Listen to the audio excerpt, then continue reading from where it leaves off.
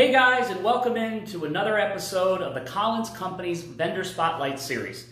Today we have with us Mr. Tim Carney from the Neles Company. He's going to walk us through a few key features and benefits of some of their core products. Remember, if you like what you see, or even if you don't, go ahead and subscribe to our channel and feel free to leave us a note in the comments section on other products you'd like to know a little bit more about. Without further ado, Mr. Tim Carney.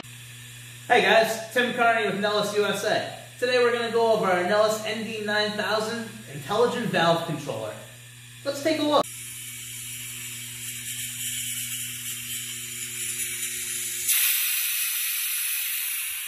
So here we're going to go into a little bit more detail over the ND9000 Neles Digital Valve Controller or Positioner. It takes 4 to 20 milliamps to operate as an input signal has different types of enclosures, whether it be aluminum, flame-proof, stainless steel. This one right here is just an aluminum body with a plastic cover. Uh, we have different hazardous area approvals for different countries all over the world. It interacts with different communications, whether it be HART, Foundation Fieldbus, or Profibus, to name a few. Internal diagnostics is standard, and using our local user interface, which you can see here, simply by taking the cover off, it shows you the position. Now this is not, not attached to a valve right now, so don't mind that. But to get into some of the more key features of it, we hold down the plus and minus keys, and we're going to get into the mode here. There's an auto and a manual mode.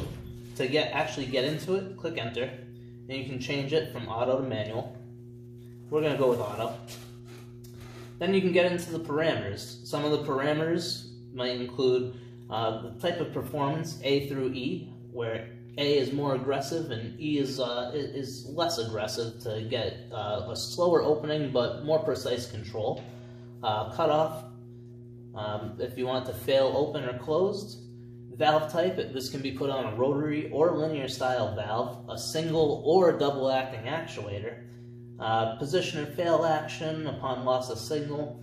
Um, rotation if it's a counterclockwise or clockwise to open. Dead angle, and what type of uh, communication it's set up for. This one's set up for HART.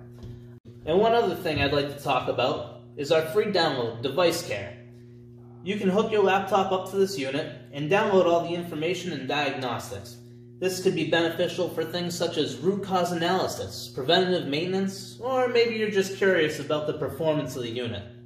With hundreds of options from position transmitters to integrated limit switches, different connections and driver sets, we have the positioner for you. And last but not least, you can do the auto cal to get your assembly back in line and ready to control. When in doubt, always refer to your ND9000 pocket guide. Don't have one? Give one of your friends at Collins a call.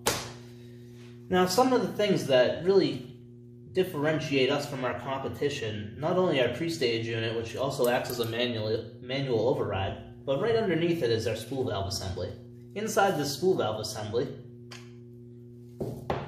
Here's the actual spool valve. You can see all the different notches in it. We have three different size spool valves, and it could be 2 millimeter, 3 millimeter, or 6 millimeter. And what this does with the notches is it tightly regulates that air to give you precise control on the unit.